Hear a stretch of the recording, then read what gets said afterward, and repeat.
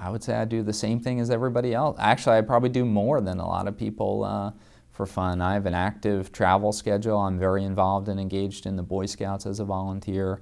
Um, I played competitive wheelchair tennis for seven years.